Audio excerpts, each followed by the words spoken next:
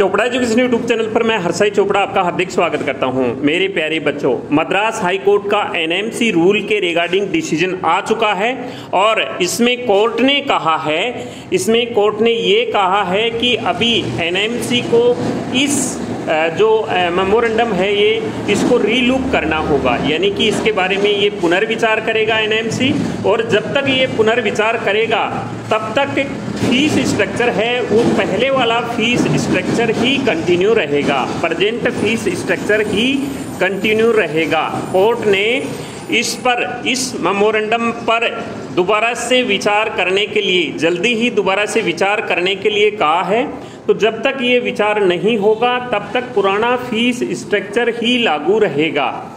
मेरा कहने का मतलब ये है कि ये इस साल के लिए लागू होना मुश्किल हो चुका है। तो जो स्टूडेंट इसी के रिगार्डिंग सोच रहे थे कि ये हो सकता है तो मैं आपको क्लियर बता दूँ कि इस साल ये लागू होने की कोई पॉसिबिलिटी नहीं है। अभी ये मैटर सुप्रीम कोर्ट में है और सुप्रीम कोर्ट में 23 सितंबर को इसकी हियरिंग है, लेकिन उसमें भी बहुत सारा समय लग जाएगा।